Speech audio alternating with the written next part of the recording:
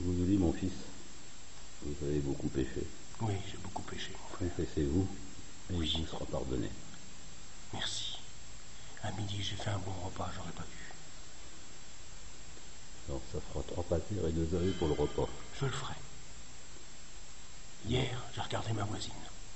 Elle est bonne? Elle est excellente. Cinq pâtés, deux œufs. D'accord. Avant-hier, j'ai regardé mon voisin.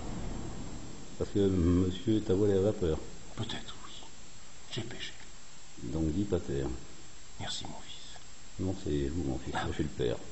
Merci, mon père. Mer- Merci, mon grand-père. mais encore. Amen. Non, c'est moi qui vous pardonne. Oh, pardon. C'est-à-dire que je vous pardonne parce que je suis l'intermédiaire de Dieu. Faut bien l'intermédiaire. Comprenez-vous? Oui. Mais encore. Videz votre cœur, mon fils. oui. Mais là, c'est mon porte-monnaie que j'ai vidé. C'est normal. Allez-y. J'avoue.